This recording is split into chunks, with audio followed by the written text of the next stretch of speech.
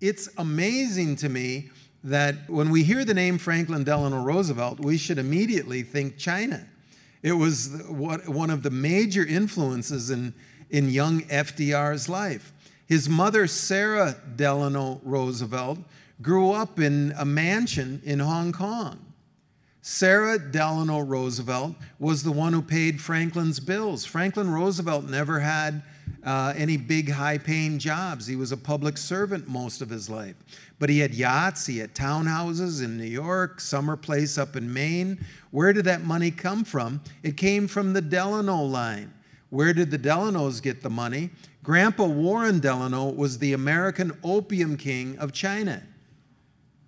He was the biggest American opium dealer. So it's as if the Cali cartel shoving cocaine into the United States grew a president of, of Colombia. Now, people are surprised Warren Delano was an opium dealer, a, a criminal in the eyes of, of, the, of the Chinese. And some people think this is just a little slice of, an unusual slice of history that I've picked out, but it isn't. If you, if you go all over the East Coast, you'll see the influence of opium fortunes. Look at, go to the campus at Yale University. The, uh, the, the tomb, which is the headquarters for the Skull and Bones Society, is on the campus of Yale University. That tomb is still financially supported by the Russell Trust. Warren Delano worked for the Russell family. It was the Russell Company that he worked for, the biggest opium dealers in China. This is Yale is built on land uh, donated by uh, opium barons. The number one most famous building on Columbia's campus is the Low Library. That's named after Abbot Low, who dealt opium with Warren Delano out there in China. Princeton University's first big, big benefactor was Stephen Green. Stephen Green took over Russell and Company's opium operations after Warren Delano returned back to the United States a rich man. America's first manufacturing city, Lowell, Lowell, Massachusetts, was founded by opium money. The first railroads in the East Coast, opium money. Uh, Ralph Waldo M. Emerson, the great transcendentalist, how come he had so much time to sit around and think? Because he married into an opium fortune. The Council on Foreign Relations, the Coolidge family, opium. Chiquita Banana, AT&T. Scratch the history of anybody with the name Forbes in their name, like Secretary of State John Forbes Kerry, and you'll see an opium fortune. His great grandfather was an opium dealer. So, you know, when the Chinese talk about 100 years of humi humiliation, this is what they're talking about. We were shoving opium uh, under the uh, guise, uh, under the eyes of the British, French, and the United States navies. Warren Delano was consul out there in Canton and welcomed the first Navy ships, U.S. Navy ships, to participate in the first Opium War. Roosevelt said to cut off oil to Japan would precipitate war in the Pacific. The United States will not shut off oil to Japan and thereby force her into a military expedition against Indonesia. There was no Indonesia at that time. It was called the Dutch East Indies, but I just changed the name to bring it up to date. So FDR said, hey, you cut off oil, the United States is going to have a war in the, in the Pacific. We're going to get involved.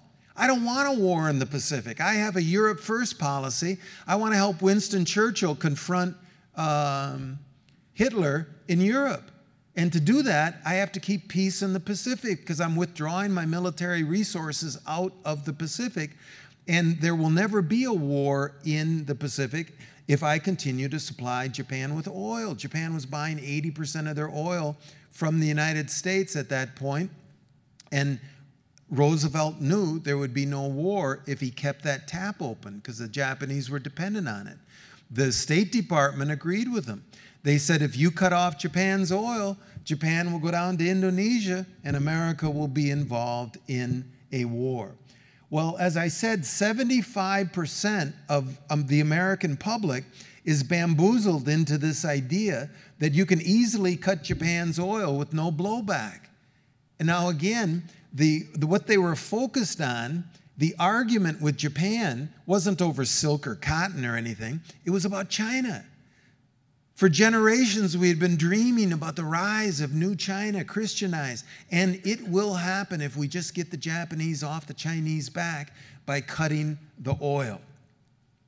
So in July of 1941, Roosevelt is about to disappear from the United States, but he doesn't tell the public why. He's going to go up to Canada to meet Winston Churchill in what later will be called the Atlantic Conference. Churchill's at war, there's wartime secrecy. We're not at war, but Roosevelt is about to go to Canada. He's about to leave.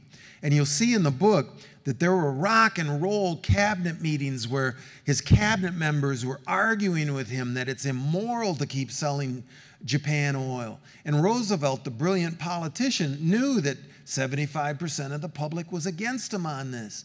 So he makes a final appeal to the United to Americans. He stands up at Hyde Park and Roosevelt makes a speech. And FDR says to uh, Americans, You might ask, why are we selling Japan oil, helping Japan in what looks like an act of aggression? Well, Japan doesn't have oil of their own. If we had cut their oil off, they probably would have gone down to Indonesia a year ago and you would have had war. Therefore, there is a method in letting oil go to Japan with the hope, and it's worked for two years, of keeping war out of the South Pacific. Here you have Franklin Roosevelt saying, I have kept the peace in the Pacific for two years.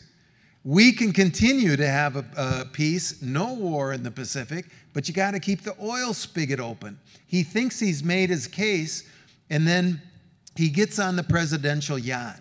People on shore off the coast of Connecticut see the president waving to them goodbye. He's going off on a 10 day fishing trip, but that's not the president. It's a double. The Secret Service had put Roosevelt on a destroyer and ran him up uh, to Canada.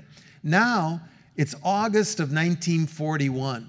The big cat is away, and the China lobby influenced mice within Roosevelt's administration decide to play. The first wise man, Secretary of War Stimson, says Japan would never attack the United States.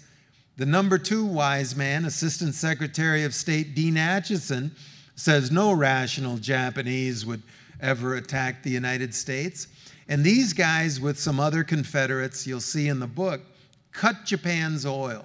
Now, they do it three, four levels down from FDR. FDR at his, you know, he's up in Canada, the Secretary of State is in uh, West Virginia, much of Washington is gone. It's August 1941, no air conditioning. Roosevelt's out of the country, nobody knows where he is. You know, a lot of things came together here. And Roosevelt can see that the State Department is continuing to approve oil to Japan. But three, four levels down below those approvals, these uh, Washington wise men, geniuses, do the moral thing, they think, and they cut Japan's oil. You know what, folks? I got a degree in East Asian studies many years ago. I didn't know till I researched this book that the President of the United States did not know for 30 days that Japan's oil had been cut. One month went by. Now, this isn't a small thing. The number one thing Roosevelt said would make a war in the Pacific is cutting Japan's oil. That number one thing had been done, and the President of the United States did not know for one month. Well, so we cut Japan's oil, and guess what? In Japan, their leader's hair was on fire. The advisors to Hirohito said Japan is going to be an industrialized beach whale. We don't want to fight the United States, but we don't have a chance here. I mean, we don't have a choice here. We have to go strike out no oil, no Japan. We've got to go south to Indonesia. And the plan was to hit Pearl Harbor as a sideshow. You know, some Americans think of Pearl Harbor as the invasion of the United States. It wasn't. Japan could have taken Hawaii in about two minutes. They didn't want to invade the United States. They just wanted to hit the Navy to stop it from interfering with their thrust for the precious oil that they had to go get now because the wise men cut the supply. So Franklin Delano Roosevelt is up in Canada singing Onward Christian Soldiers with, uh, with uh, Winston Churchill. They're, plan- they're making detailed plans for war across the Atlantic. They're not discussing the Pacific because Roosevelt said to Churchill, Don't worry, there will be no war with Japan. I'm feeding them oil. They will never attack us. Roosevelt didn't know that he had been stabbed in the back by these China lobby believing administration officials who continued to propagandize that uh, American and Chinese interests were aligned and, and uh, you can help China by cutting that Japanese oil. So, guess what the Japanese did? They did exactly what Franklin Delano Roosevelt had anticipated. They went south for oil in Indonesia, which involved us in a Pacific war, a preventable war. Yes, my dad raised the flag in Iwo Jima. Yes, I learned now my father was involved in a war that Franklin Roosevelt had prevented for two years and was sure would never happen if he was allowed to keep that oil open. So I agree with Franklin Delano Roosevelt. World War II in the Pacific was an entirely preventable war. So now we get into World War II, and oh, you know, I wanted to talk about this. You know, American school children are being uh, told that the United States went into World War II to help Winston Churchill defend democracy against Hitler. And I don't know when that happened. December 8th, we declare war on Japan. December 9th, Churchill's begging us to get involved in Europe. No, no, no, we're not. No.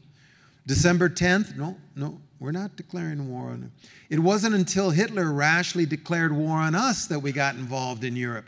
World War II came to the United States from Asia, and it came to the United States from Asia because we were looking at that China mirage.